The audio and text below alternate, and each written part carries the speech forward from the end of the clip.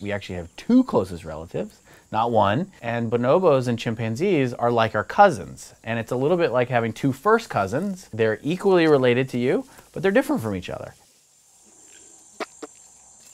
One of the reasons people haven't heard of them is because bonobos only live south of the Congo River in one country, the Democratic Republic of Congo. What humans naturally jump to is their sexual behavior. The Kama Sutra is quite boring if you watch bonobos for a while. But I think if bonobos could talk, they would sort of be puzzled and say, really what's special about us is we are the only ape that doesn't kill. One of the ways that we've tried to understand bonobo psychology better is we've given them the opportunity to share with one another in a way that challenges ideas about how humans might be unique.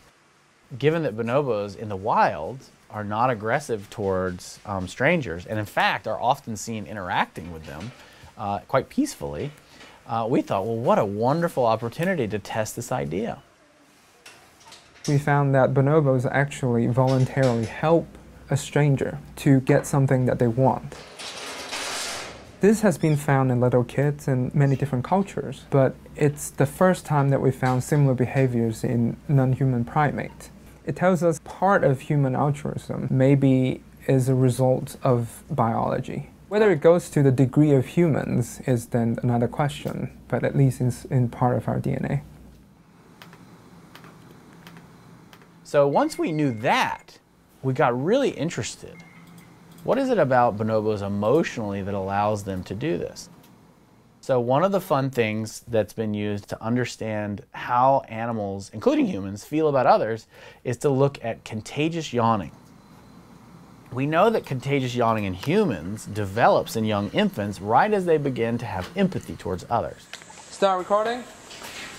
This is my Bali um, group mate session too. So we showed what we called bonobo TV. They saw either a bonobo that they knew very well yawning, or they saw a bonobo they'd never seen before yawning. When they saw the videos of the strangers yawning, they yawned more often than when they saw the video of the bonobos they know yawning. So it seems that bonobos have even a level of emotional engagement or even empathy towards strangers that we don't see in other species.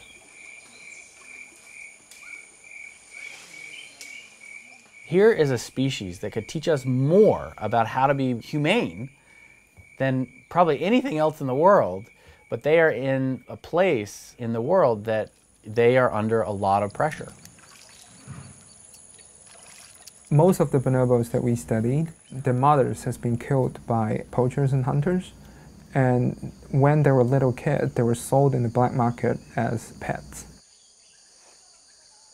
Lola ya Bonobo Sanctuary is an orphanage for bushmeat victims.